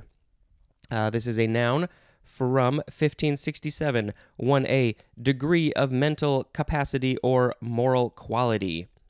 1b, degree of excellence or importance. 2a, the diameter of a bullet or other projectile. The diameter, yeah. So when they're talking about the caliber of a bullet, it's uh, it's the diameter, the the the width of the shortest length. Did that make that? I guess so. Um, the shortest length is the width, and that's okay. Okay. 2b. The diameter of a bore of a gun, usually expressed in hundredths or thousandths of an inch, and typically written as a decimal fraction, as in uh, 32 caliber, 0.32 caliber. I also thought, and I've mentioned this before, I also thought it was in millimeters, but uh, this is expressed in hundredths or thousandths of an inch. I don't think that makes much sense. I think I think most of the world uses the metric system, so that's what we should use. 3. The diameter of a round or cylindrical body, especially the internal diameter of a hollow cylinder. Okay, this is from Italian, Old Italian, calibro, from Arabic Kalib, which is a shoemaker's last. Shoemaker's last? Last what? His last shoe? His last what? Shoe shoemaker's last. Okay. Next is calibrate, verb from circa 1864. Uh, we are starting with transitive, and I think that's all it is. One, to ascertain the caliber of, as a thermometer tube. Two, to determine, rectify, or mark the graduations of, as a thermometer tube. Three, to standardize, uh, to standardize by determining the deviation from a standard so as to ascertain the proper correction factors. And the example is as a measuring instrument. Four, to adjust precisely for a particular function. Five, to measure precisely, especially to measure against a standard. Calibrator is a noun. That is the person who is doing the calibrating, or it could also be the machine that you are using to calibrate something. Next is calibration, noun. Calibrate good. No, that that would have been good for the last one. Calibration. Calibrate tonight. No, I don't know the words. Uh, calibration is a noun from circa 1859. One, the act or process of calibrating, the state of being calibrated. Two, a set of graduations to indicate values or positions, and that is usually used in plural, as in calibrations on a gauge. Graduations, those would be like probably little lines that uh, are indicating, uh, you know, uh, this is one milliliter and this is two milliliters or whatever, 10, 20, whatever it is. Um, and I think it's interesting that it's the same word as when you finish like eighth grade or senior year of high school, you graduate. Um, and so, yeah, that word just means like probably the indication of a the next level or uh, you know the end of one and the beginning of another i don't know we'll find out in the g's next is caliche c-a-l-i-c-h-e caliche it is not Khaleesi from Game of Thrones. This is something different, I assume. This is a noun from circa 1858. 1. The nitrate bearing gravel or rock of the sodium nitrate deposits of Chile and Peru. 2. A crust of calcium carbonate that forms on the stony soil of arid regions. Caliche. This is um, American Spanish from Spanish, which means flake of lime from cal, which means lime, from Latin calx, and there's more at the word chalk, very similar to all those calcium words we read a few episodes ago. Next is calico, noun from 1578. 1a, cotton cloth imported from India.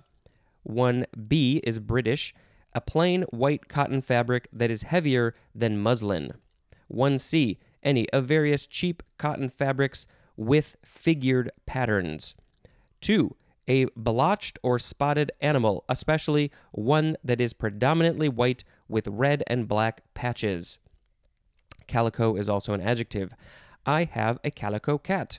Uh, I didn't know this, uh, not not beforehand, but I learned it uh, after I got the cat.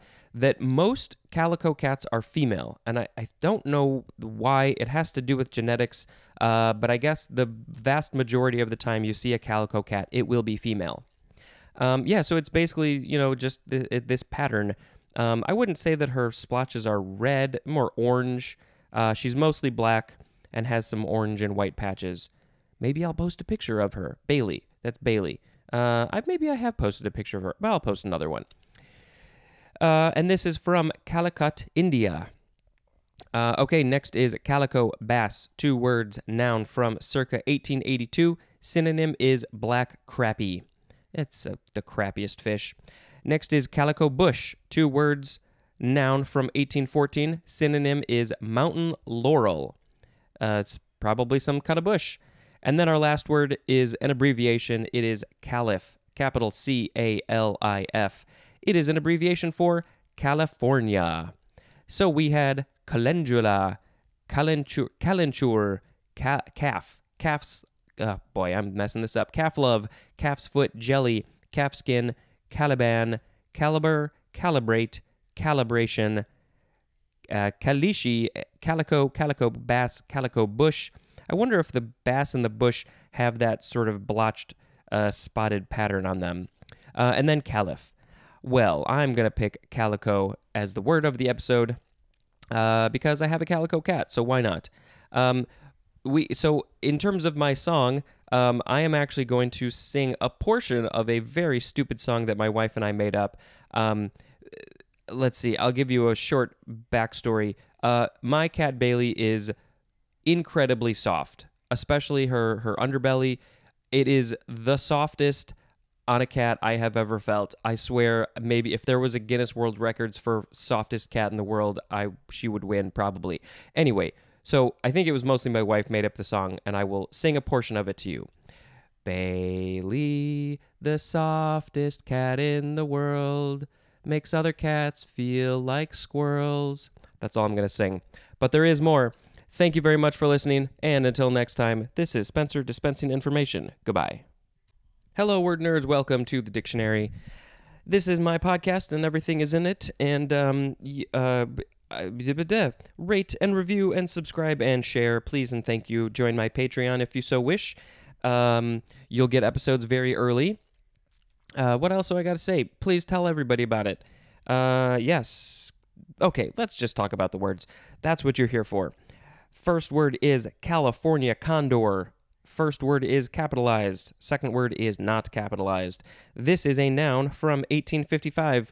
There's going to be a bunch of California, well, just uh, just a handful of California words. A large, nearly extinct vulture found most recently in the mountains of southern uh, California that is related to the condor of South America. We will post a picture, maybe we'll even compare it to the South American condor. The scientific name is uh, Gymnopgyps. Gymnopgyps? I don't know how to say that. Gymnopgyps californianus. Um, yeah, that is that. And it is from California, which is a state of the U.S. Next is California laurel, noun from 1868, an evergreen Pacific coast tree of the laurel family with small umbellate le- uh, flowers. Umbellate, uh, U M B E L L A T E. Umbellate? Umbellate flowers. I'm going to guess that those look sort of like umbrellas, uh, but that's that's kind of a stretch. Um, and then the scientific name is Umbellaria californica. Ooh, there might be a sneeze. Next is California poppy. Told ya.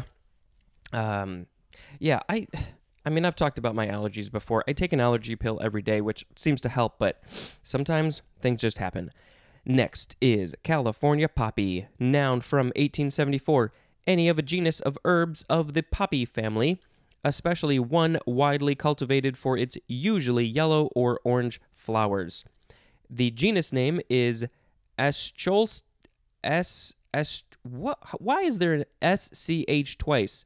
Eschscholzia. I'm going to say that's correct. Eschscholzia. And the one that was mentioned is Eschscholzia californica, and that's probably the one that we're talking about. Uh, next is California sea lion, noun from 1873. A small brown sea lion that occurs especially it occurs occurs especially along the Pacific coast of North America from Vancouver Island to Baja California. That's the that's the whole coast of California plus more. I assume Vancouver Island is up in the north. Um, and the Gulf of California and in the Galapagos Islands and that is the seal most often trained to perform in circuses. And the scientific name is Zalophus Zalophus californianus. Yeah, okay. Next is Californio. It's um it's got a capital C. It's Californio, noun from 1923, one of the original Spanish colonists of California or their descendants. Uh, this is from the Spanish word, uh, which is from California. So the the original people who settled in that area were called Californios. Next is Californium. There's no capital C on this one. This is a noun from 1950, a radioactive element discovered by bombarding curium 242 with alpha particles. And then it says to see the element table. So which element is it? I don't know. But it's Californium. Uh, okay. Next is caliginous. C A L I G I N O U S. Adjective from 1548. Synonyms are misty and dark. It's caliginous, as in a caliginous atmosphere. Um, it's from Middle French caligino. Um, basically, it's from the uh, Latin word that means darkness, cal- caligo. Next is caliper, first form, noun from 1588. Uh, 1a, any of various measuring instruments having two usually adjustable arms, legs, or jaws, used especially to measure diameter or thickness, used usually in plural, as in a pair of calipers. 1b, a device for pressing a frictional material against the sides of a rotating wheel or disc. Uh, and the frictional material, an example is a brake pad. Next is, uh, no, number two, thickness, especially of paper, cardboard, or a tree. The, the caliper of that paper is five millimeters. That would be an incredibly thick piece of paper. Uh, this is just an alternative of caliber with a B. And then we have an example uh, picture of the 1A, which is those uh, the very uh, measuring instruments. There's two of them. One of them, there's a point where these two arms connect and they can rotate from, and then the arms come out and they're curved and they come to a semi point at the end um, towards each other. And then the other one, it's more straight arms that are coming out from the one point and then they go straight out, but then they curve away from each other a little bit. Uh, so those are probably measured. Uh, the second one is probably used to measure the the inside width of something, and then the other one is used to measure the outside width of something. If that makes any sense to you. Next is the second form of caliper, verb from 1876, transitive, to measure by or as if by calipers. Next is caliph, C A L I P H, or you could uh, spell it with an F instead of a PH. Noun from the 14th century, a successor of Muhammad as temporal and spiritual head of Islam, and that it, this is used as a title. Caliphal, uh, you'd probably just pronounce it caliphal, is an adjective, and I actually um, there's another pronunciation. It could be caliph. So there's caliph and uh, caliph. I think both are good. Uh, and then this is from the Arabic word khalifa, which means successor. Next is uh, caliphate, caliphate, or just caliphate uh, with a ph, noun from 1614, the office or dominion of a caliph. I'm going to say caliph because that's the first pronunciation. So the caliph works in a uh, caliph- cal- caliphate. I think that would be cor- correct. A caliphate. Next is calisthenic. C A L I S T H E N I C. Calisthenic. Adjective from 1827 of or relating to calisthenics, which is our next word.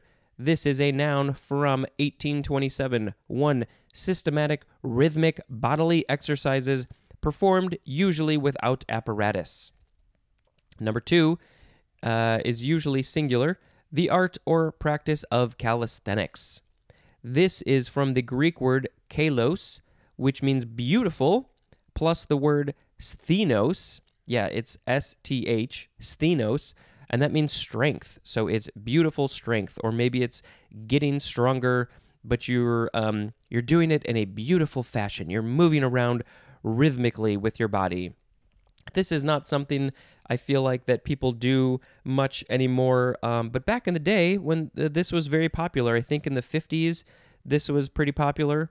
Um, I mean, it's from 1827, so it's been happening since then. But um, you know, I think it's I think there's some some benefits to this. Just just get your body moving, get the blood flowing.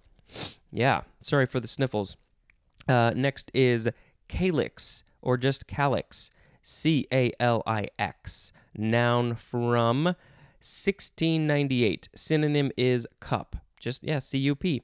Uh, this is from the Latin word calic or calix, and there's more at the word chalice. We'll get to that later. That chalice is a cup.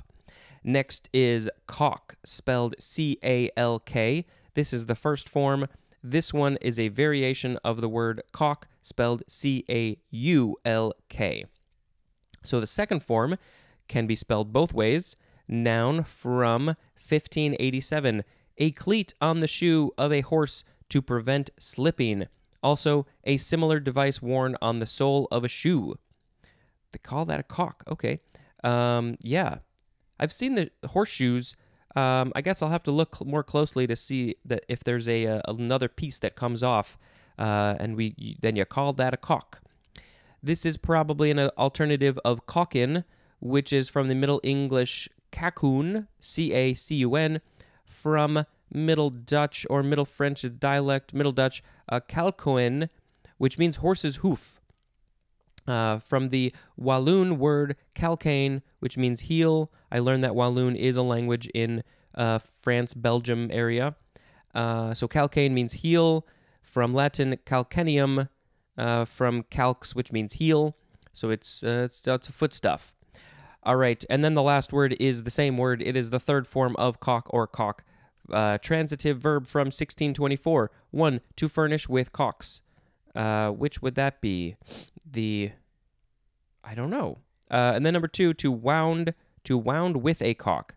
Now, but uh, is this talking about the the horses, the cleat on the shoe, the horse's shoe, or the other shoe? Um, I guess so. I don't know. That's interesting. I guess if you furnish with caulks, that means you're putting them on your shoe. Maybe.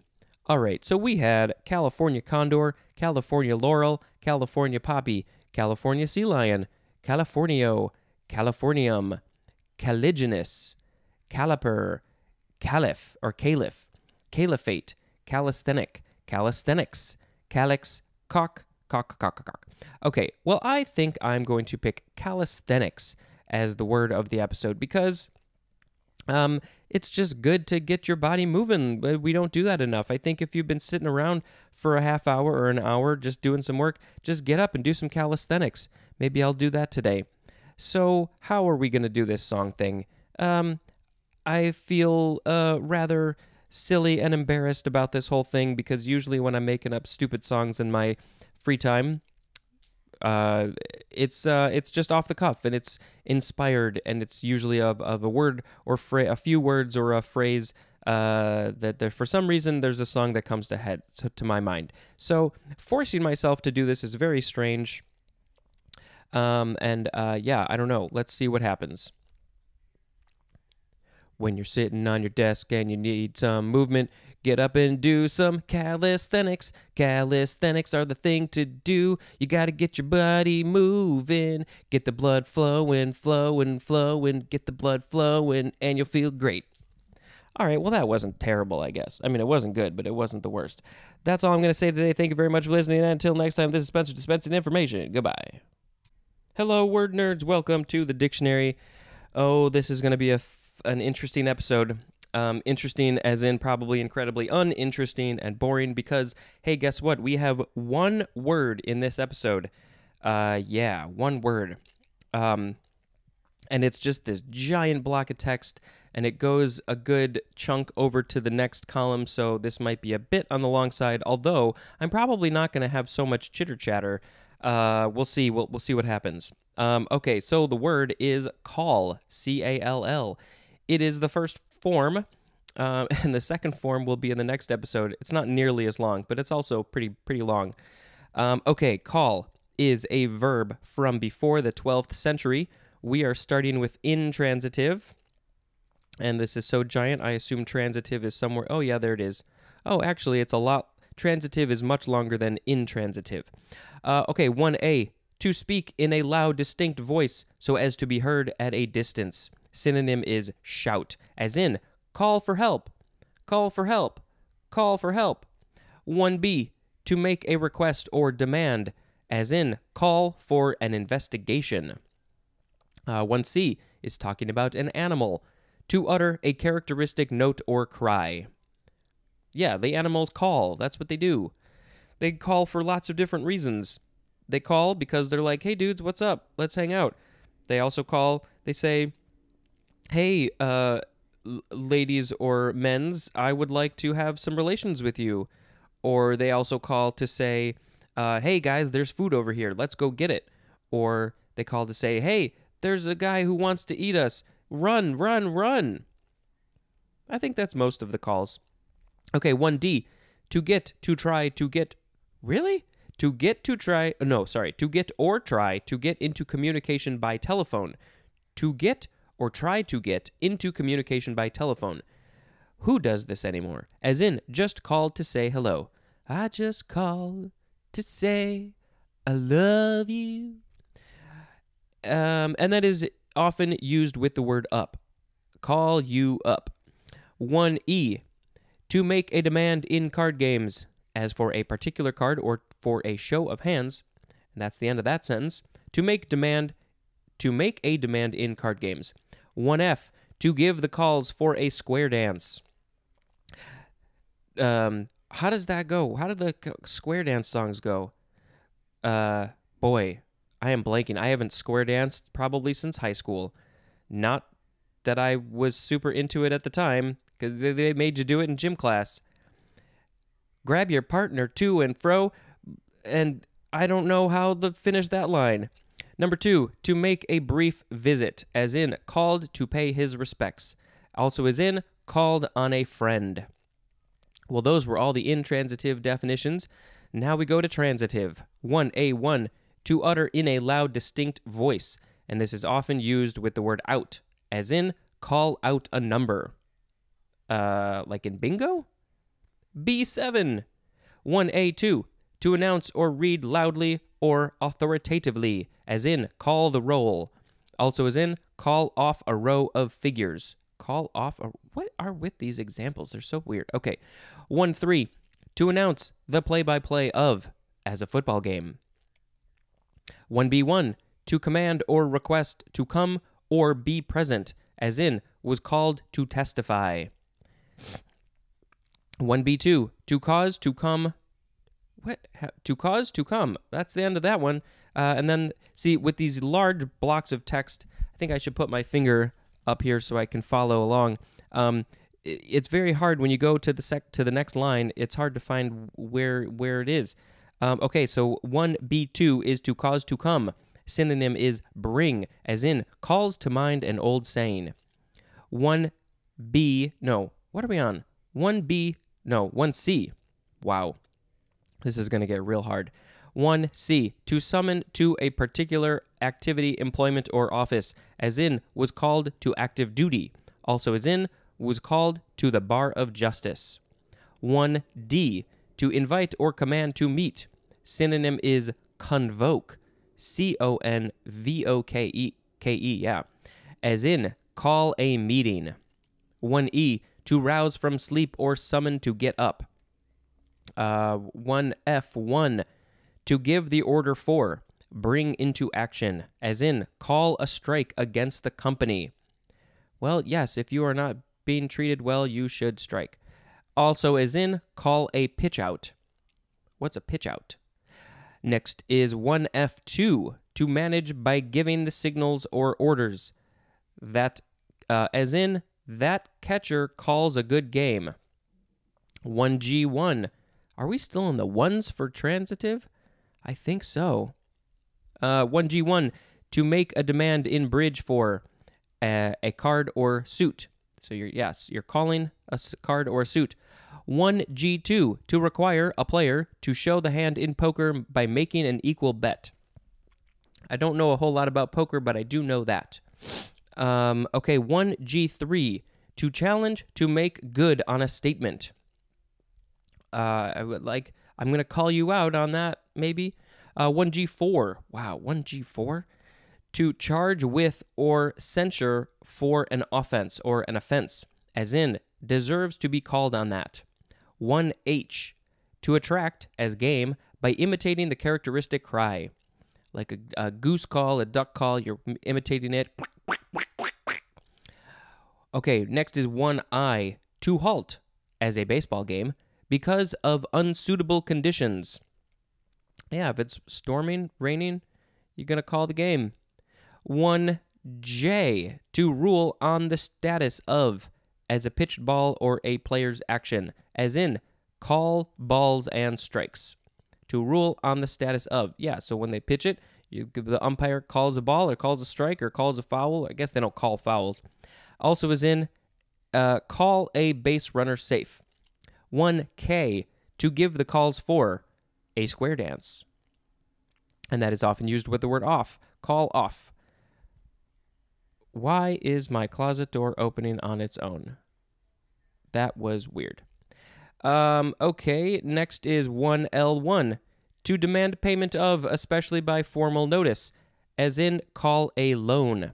1L2 to demand presentation of, as a bond or option, for redemption. To demand a presentation of or rede- for redemption. 1M1. Man, yeah, we are still in the ones. 1M1. To get or try to get in communication with by telephone, as in call the doctor to make an appointment. I actually need to call the dentist to make an appointment. My dentist appointment got canceled when this pandemic happened, and I still haven't rescheduled it. 1M2 to generate signals for a telephone number in order to reach the party to whom the number is assigned. it's such a silly way to say that. Uh, okay, uh, as in call 911. Uh, 1M3 to make a signal to in order to transmit a message, as in call the flagship. 2. We're, we're on the twos. 2A to speak of or address by a specified name. Also, give a name to, as in call her Kitty. That's the, the capital K. It's a name, a Kitty. Uh, are you calling a cat kitty? Are you calling a person kitty? I don't know. To be one, To regard or characterize as of a certain kind. Synonym is consider, as in, can hardly be called generous. Well, maybe you should change that. N- 2B2. To estimate or consider for purposes of an estimate or for convenience, as in, call it an even dollar. So if you're if there if uh you're being charged a dollar and one cent, the person might say, "Ah, just call it an even dollar. Just give me a dollar. I don't care about that one cent." Two C one to describe correctly in advance of or without knowledge of the event. To describe correctly in advance of or without knowledge of the event. Synonym is predict. 2C2 to name or specify in advance, as in call the toss of a coin. 3. To temporarily transfer control of computer processing to as a subroutine or procedure. And then a synonym, I don't know if it's this, I think it's a synonym for the whole thing. The all of these definitions, the synonym is summon. We have some phrases. That's going to take us into the next column. There's a bunch. Call a spade a spade.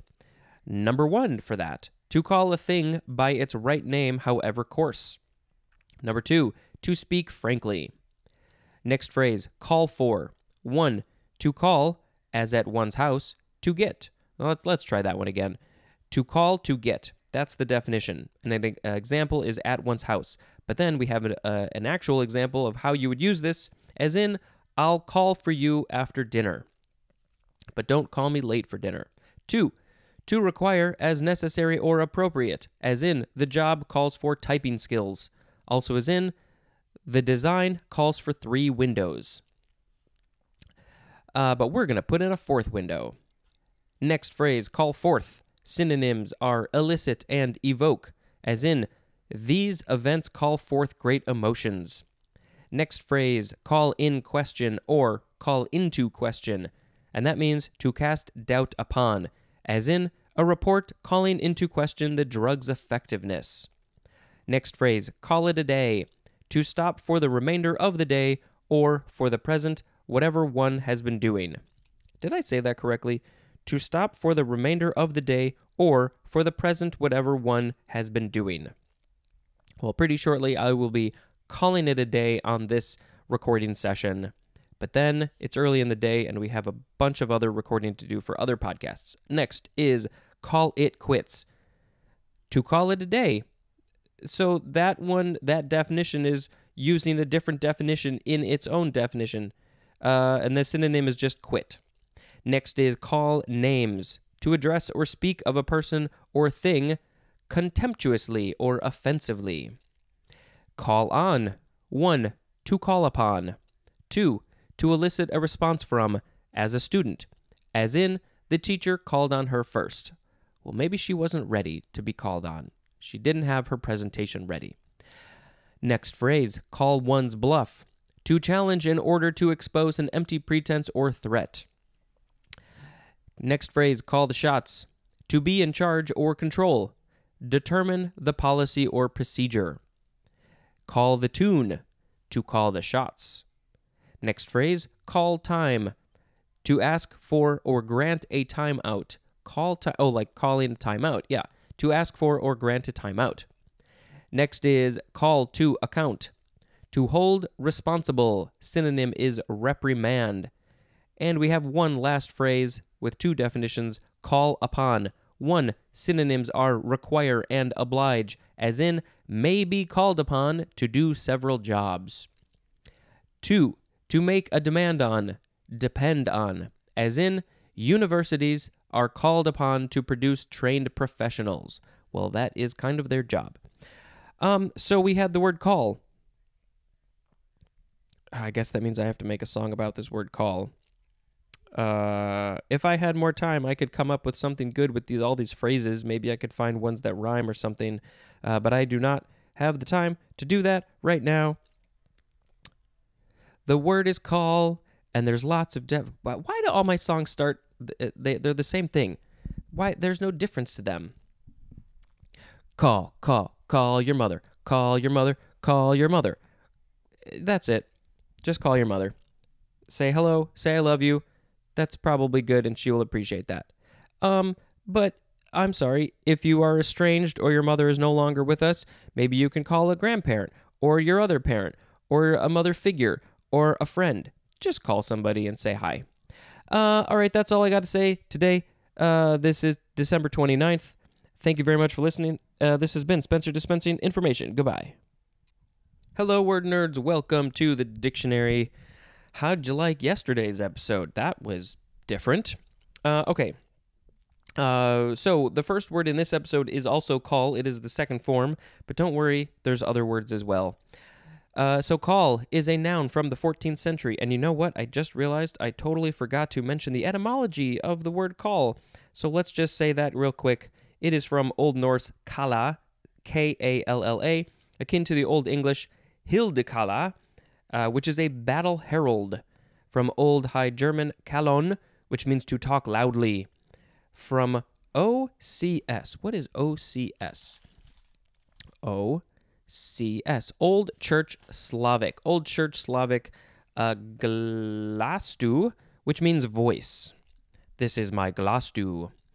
All right, so the second form of call is a noun from the 14th century. 1a, an act of calling with the voice. Synonym is shout. Yeah, I think a lot of these are going to be very similar uh, to the ones in the last episode.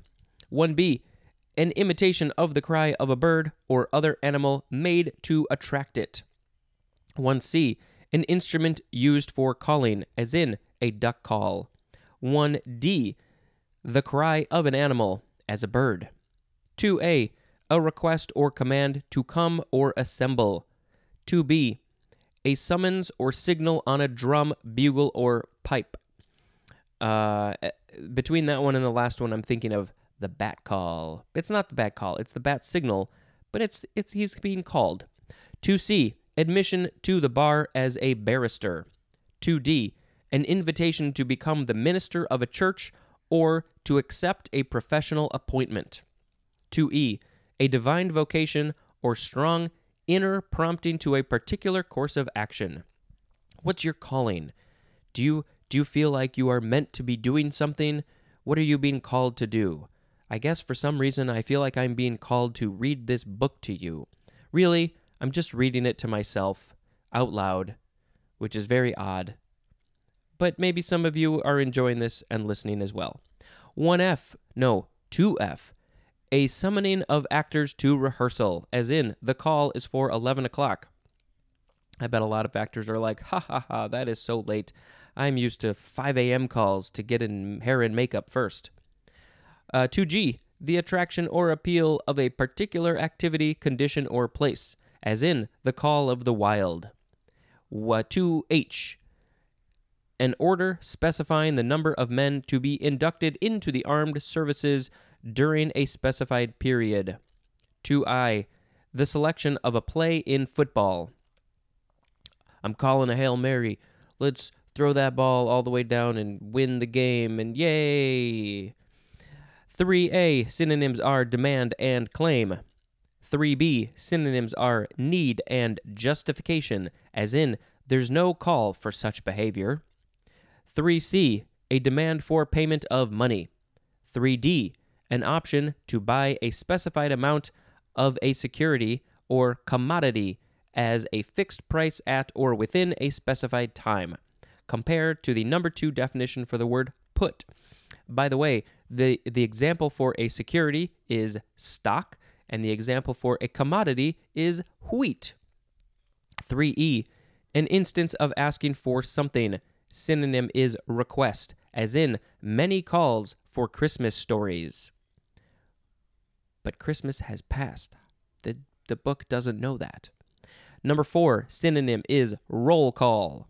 Five, a short, usually formal visit. Six, the name or thing called, as in, the call was heads. 7. The act of calling in a card game. 8. The act of calling on the telephone. 9. A direction or a succession of directions for a square dance rhythmically called to the dancers. 10. A decision or ruling made by an official or of a sports contest. A sports contest. We should call them sports contests. Also, the synonym, uh, I guess it's the number one definition for the word decision, as in a tough call to make. Yeah, people get super pissed when refs make bad calls or something, but they have a very difficult job. Can you imagine being on the ground of a, like a football game and having to watch a million things all at once? I mean, I know there's like probably three or four refs down there and they're all looking for different things, but boy, they have a super tough job. As in the example, it's a tough call to make. 11. A temporary transfer of control of computer processing to a particular set of instructions as a subroutine or procedure. Uh, okay, we have a couple phrases at call or on call. 1a, available for use at the service of, as in thousands of men at his call. 1b, ready to respond to a summons or command, as in a doctor on call. 2. Subject to demand for payment or return without previous notice, as in money lent at call. And then the next phrase, the last one, is within call, and that is within hearing or reach of a summons. Also subject to summons. Okay, that was called. Now we have callable, adjective from 1826 capable of being called, specifically subject to a demand for presentation for payment, as in callable bond. Next is calla. Uh, two words. First word is C A L L A, and then the lily. Noun from 1868. Any of several herbs of the arum family, especially a house or greenhouse plant with a white showy spathe and yellow spadix or is it spadix? Don't know. Uh, it is called also just Calla. Um, the genus name is Zantedeschia, and the greenhouse plant scientific name is Zantedeschia Ethiopia. No, Ethiopica. Ethiopica. This is from the Greek word kallaia, K A L L A I A. Did I say that right? K A L L A I A. Kalea.